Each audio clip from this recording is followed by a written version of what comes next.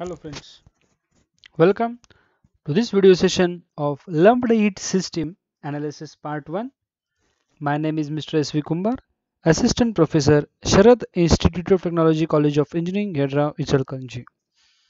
This lumped system analysis is also known as transient heat condition.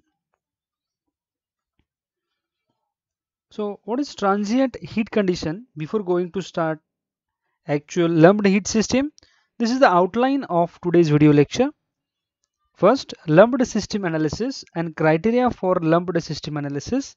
And second, Biot and Fourier number. Introduction to Biot and Fourier number. So we will start with transient heat condition conduction. So up to previous lecture, there was steady state means temperature was considered as steady it will not be changed with respect to time. But in real practice temperature temperature vary from time to time. So mathematically we can write temperature t as a function of x y z these are the coordinate axes and time interval t where t represents time coordinate. In transient conduction temperature depends not only on position in the solid but also time.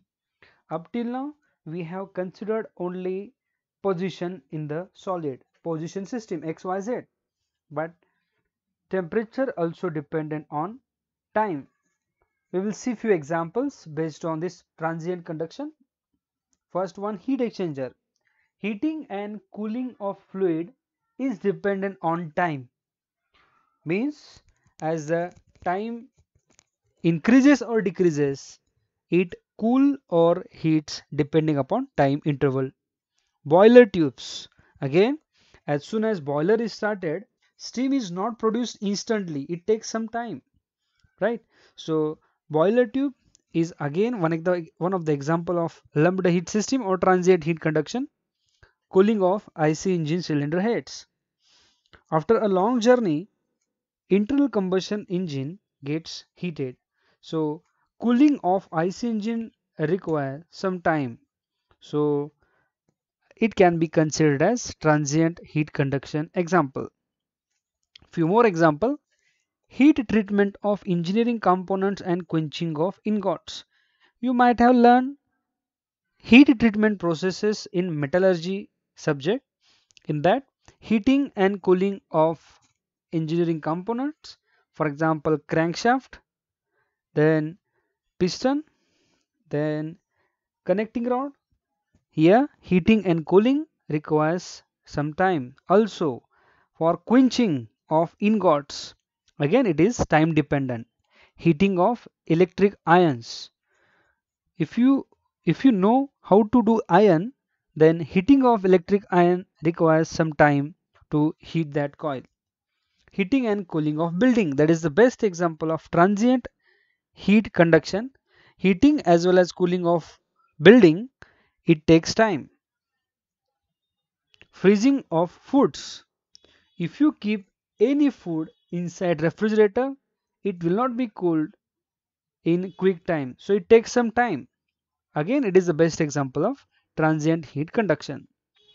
We will see lumped system analysis that is newtonian heating or cooling in lumped system analysis the internal conduction resistance of the body to heat flow is negligible as compared to the convective resistance at the surface.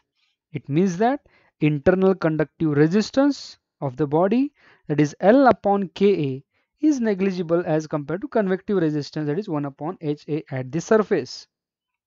So the temperature of the body varies with time but at any given instant the temperature within the body is uniform and is independent of position. That is, temperature T is a function of time only.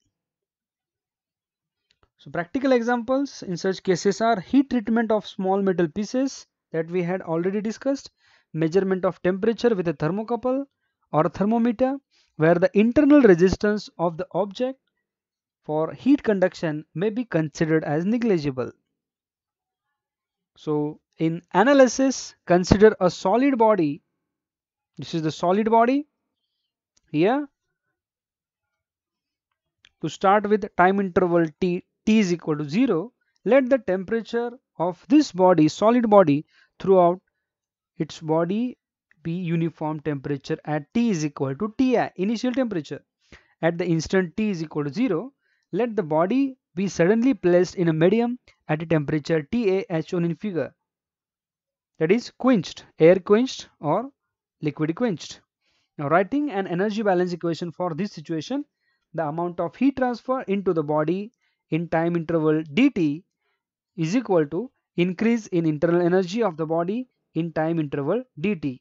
So it can be written as HATA T is a function of tau d tau is equal to mcp dt which is equal to rho cp v into dt as m is replaced by density into volume.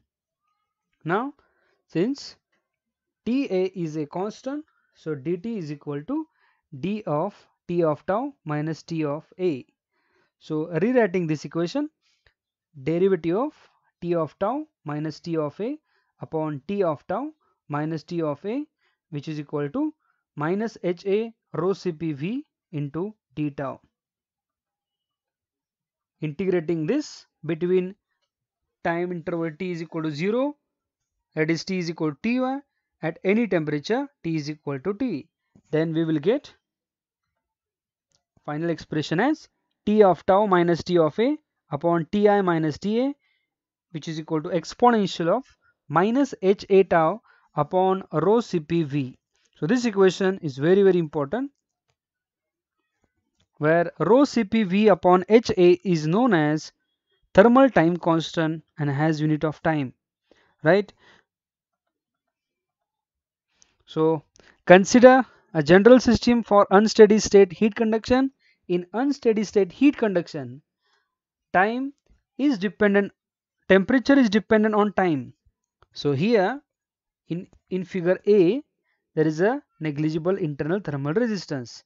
So e out is equal to q convection. So this equation can be written as q is equal to mcp dt upon d tau is equal to ha t minus ta and m is replaced by rho v. So negative sign indicates that the amount of heat is convected.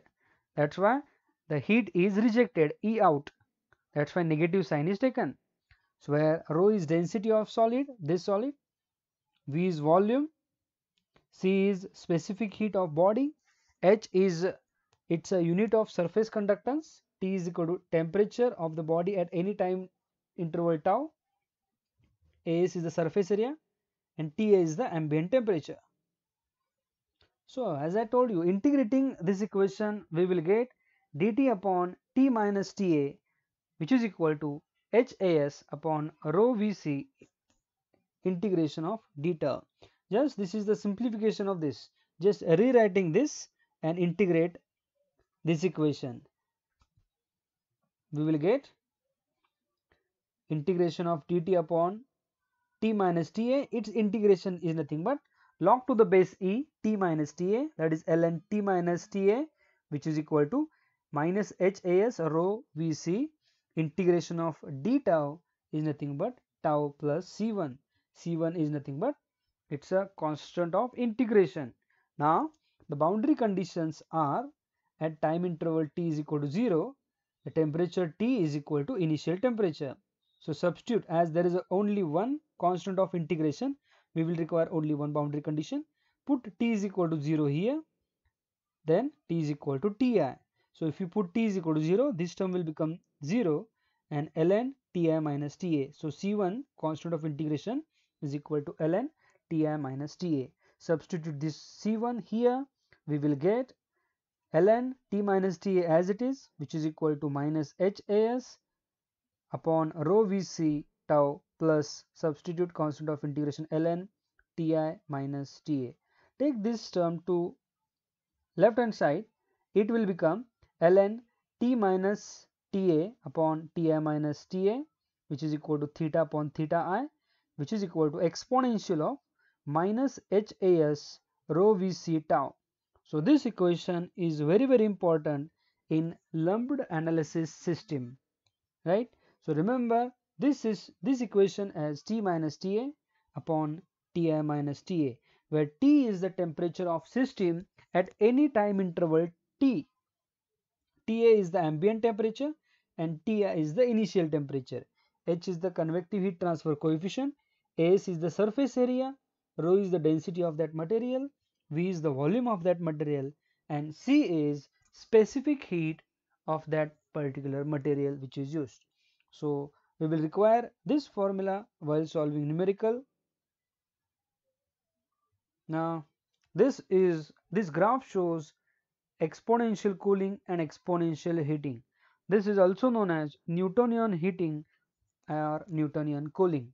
So in case of transient temperature response during time interval tau, here we will get theta upon theta naught as tau th 1 upon HAS into rho Vc that is thermal conductive resistance at an time interval that is lumped thermal capacitance of solid right the quantity rho Vc upon HAS has the dimension of time and it is called as thermal constant and denoted by tau th. Its value is indicative of rate of response of a system to a sudden change in its environmental temperature. That is how fast a body will respond to a change in environmental temperature. So tau th which is equal to 1 upon HAS rho, v, rho Vc that is RTH into CTH convective thermal resistance into this CTH where CTH is known as lumped thermal capacitance of solid right? So this figure 4.3 this figure 4.3 here it shows any increase in RTH or CTH will cause a solid respond more slowly to changes in its thermal environmental and will increase the time required to attain the thermal equilibrium. Okay? And q is equal to rho vct that is cth into t. This is known as thermal equation and s is equal to ce it is related to electrical equation where s is capacitor c is capacitance of condenser e is the voltage. When the switch is closed the solid is charged to temperature theta. On opening the switch the thermal energy stored as Cth is dissipated through thermal resistance Rth. Convective thermal resistance is equal to 1 upon HAS and the temperature of the body decays with time. So criteria for lumped system analysis. For that purpose we must study Biot number and Fourier number. We will see introduction of Biot number and Fourier number in this video lecture. Detail Biot number and Fourier number will be explained in the next video lecture. So how to draw, how to get Biot number and Fourier number and with the help of this how to draw Heisler chart and Grober chart we will study in the next video lecture. So before that let the surface on left side of slab be maintained at temperature T1 and right hand side is temperature is T2 as a result of heat being lost to fluid at a temperature Ta, flowing with a heat transfer coefficient Ha. Now, whatever amount of heat which is conducted is convected to atmosphere. So, it can be written as Ka that is Fourier's law which is equal to Newton's law of cooling. Ka T1 minus T2 upon L. L is the width of that slab which is equal to Ha T2 minus Ta. Now, Rearranging this equation, we can write T1 minus T2 upon T2 minus Ta which is equal to L upon Ka upon 1 upon Ha which is equal to thermal conductive resistance upon thermal convective resistance. If you if you solve this, you will get HL upon K which is known as Biot number. So the term HL upon K appearing on RHS is dimensionless number which is known as Biot number. So that wall is shown here. Let's say T1 and T2 these are the temperature, TA is the ambient temperature and heat is flowing from left hand side to right hand side. Now there are three different cases when Biot number is greater than 1, when Biot number is equal to 1 and when Biot number is less than 1. So this lumped heat analysis system is used when Biot number is less than 1. So from the temperature profile for Biot number is less than 1, it suggests that one can assume a uniform temperature distribution within a solid if Biot number is less than 1. Now situation during transient conduction is shown in below figure. It may be observed that temperature distribution is a strong function of Biot number, right? So Biot number is a function of temperature. For Biot number is less than 1, temperature gradient in the solid is small and temperature can be taken as a function of time only. And also note that for Biot number is greater than 1, temperature drop across the solid much larger than that across the convective layer at the surface. Now, Biot number is given by the formula H into LC upon K where H is convective heat transfer coefficient, LC is known as characteristic length and K is thermal conductivity. Now, you might be wondered LC is taken here up till now we haven't specified related to LC. LC is known as characteristic length of solid and that characteristic length of solid can be calculated by this formula volume upon surface area right so if you know volume of any body it may be rectangular it may be circular it may be spherical in shape if you know surface area then you can easily calculate characteristic length for any shape. Here some common shapes are given that is plane wall of thickness 2L, LC is equal to L. For a long cylinder characteristic length volume upon area its volume is pi r square L upon area surface area is 2 pi r into L so it will be r by 2. Similarly for spherical of radius r LC is equal to r by 3 and for cube of side L it will be L by 6. So this is all about for lumped heat system analysis part 1. In the next part we will learn how to what is the significance of Biot number, Fourier number, numerical based on this Heisler and Grober chart in the next video lecture. Thank you. Thank you very much.